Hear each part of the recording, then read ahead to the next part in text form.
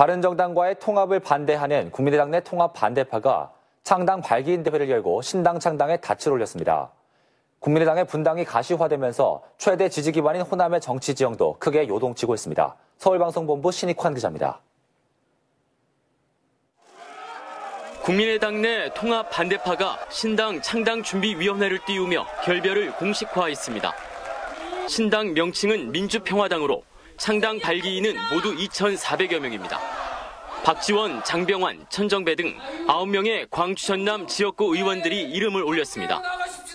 권노갑 상임 고문 등 동교동계 원로들도 창당 발기인으로 참여했습니다.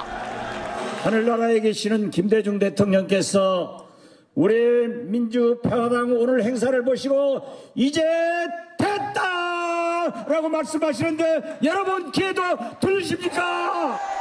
국민의당 분당이 초읽기에 들어가면서 광주 전남의 6.13 지방선거 판도 흔들리고 있습니다. 더불어민주당과 국민의당 바른정당이 추진 중인 통합신당, 민주평화당 등 사실상 3당 체제로 재편됩니다. 일단 현재까지는 호남 지지율에서 크게 앞서고 있는 민주당의 우세가 점쳐지고 있습니다. 하지만 민평당이 호남 의원들을 중심으로 한 정당이라는 점과 최근 여론조사에서 통합신당의 호남 지지율이 높게 나타난 점 등은 변수입니다.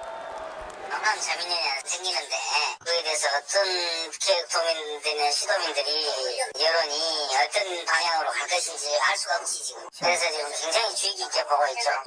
광주 전남 지방선거 구도가 3당 체제로 바뀔 가능성이 큰 가운데 치열한 호남 쟁탈전이 예상됩니다.